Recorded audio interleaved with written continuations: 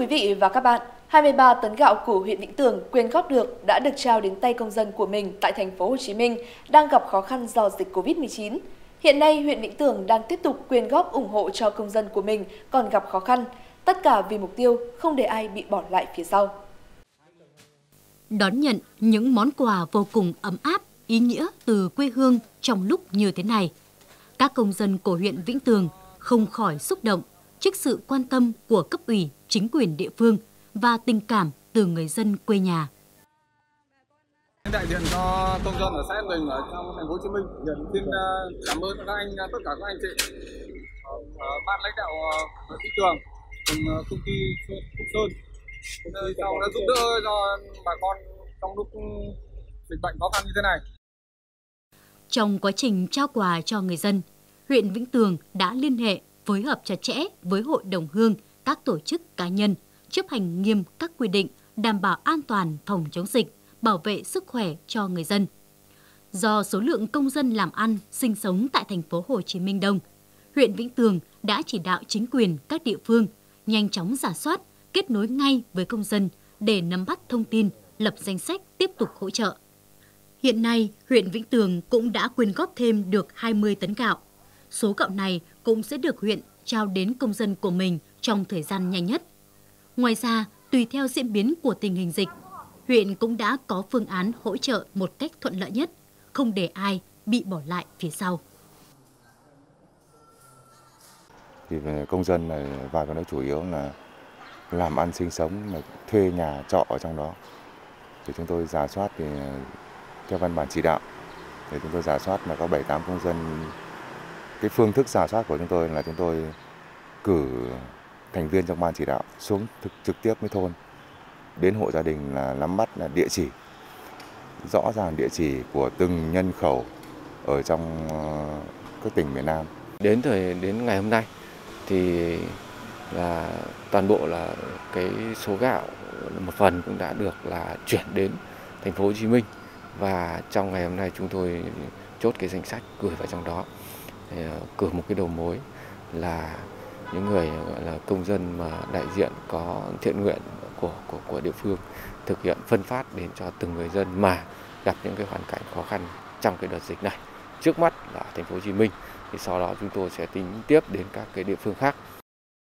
Hỗ trợ bà con vùng dịch đang gặp khó khăn là việc làm có ý nghĩa thiết thực trong lúc này.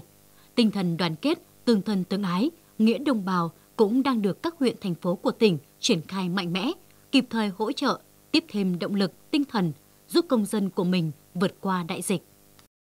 Đêm ngày 9 tháng 8, nhận được tin báo có trường hợp bỏ trốn khỏi khu cách ly y tế tập trung phòng chống dịch COVID-19 tại trường Trung học phổ thông chuyên Vĩnh Phúc cũ. Công an thành phố Vĩnh Yên đã tổ chức bắt giữ được Hà Văn Minh, sinh năm 1993 và Lê Hữu Khoa, sinh năm 1993, đều ở tỉnh Thanh Hóa ngay trong đêm. Cả hai đối tượng trên đang làm công nhân xây dựng tại khu đô thị VCI thành phố Vĩnh Yên và ở trọ tại xã Định Trung thuộc trường hợp F1 đang thực hiện cách ly tập trung phòng chống dịch COVID-19 theo quy định từ ngày 30 tháng 7 năm 2021 và đã được làm xét nghiệm PCR 3 lần, kết quả đều âm tính. Ngay sau khi bắt được hai đối tượng trên, các lực lượng chức năng đã tiếp tục thực hiện biện pháp cách ly y tế tập trung theo quy định. Cả hai đối tượng đã thừa nhận hành vi trốn khỏi nơi cách ly tập trung là vi phạm các quy định trong công tác phòng chống dịch COVID-19. Hiện cơ quan chức năng của thành phố đang làm rõ vụ việc, củng cố hồ sơ để xử lý nghiêm minh theo quy định của pháp luật.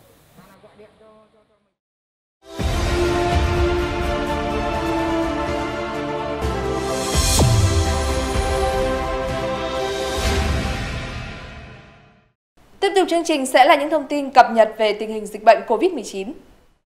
Theo báo cáo của Ban chỉ đạo phòng chống dịch bệnh COVID-19, tính từ ngày 30 tháng 4 năm 2021 đến 15 giờ ngày 10 tháng 8 năm 2021, tổng số ca bình phục trên số ca nhiễm 104 trên 233, số ca nhiễm mới 0, số trường hợp F1 hiện đang cách ly 207 người, số trường hợp F2 hiện đang cách ly 0, số trường hợp đi về từ vùng dịch 8.844 người, số trường hợp đang cách ly tại nhà 1.971 người.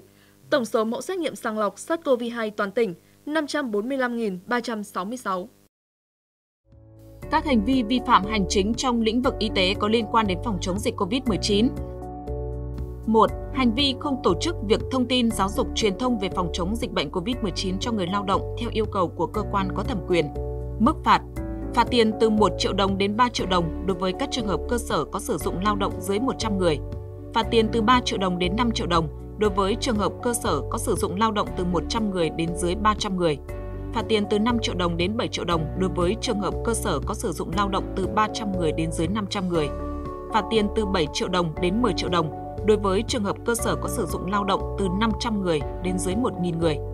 Phạt tiền từ 10 triệu đến 15 triệu đồng đối với trường hợp cơ sở có sử dụng lao động từ 1.000 đến 1.500 người.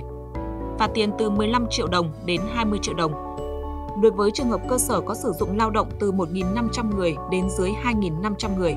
Phạt tiền từ 20 triệu đến 25 triệu đồng đối với trường hợp cơ sở có sử dụng lao động từ 2.500 người trở lên. 2 hành vi đưa tin không chính xác hoặc không kịp thời về tình hình dịch bệnh COVID-19 sau khi công bố dịch hoặc công bố hết dịch theo nội dung do cơ quan nhà nước có thẩm quyền về y tế cung cấp.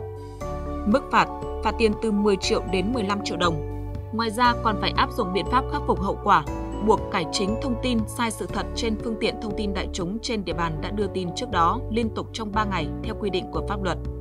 3. Hành vi vi phạm các quy định về vệ sinh phòng dịch bệnh COVID-19 hành vi không thực hiện biện pháp bảo đảm vệ sinh nơi ở, nơi công cộng, phương tiện giao thông, nơi chứa chất thải sinh hoạt để phòng ngừa bệnh truyền nhiễm. Mức phạt, cảnh cáo hoặc phạt tiền từ 200.000 đến 500.000 đồng.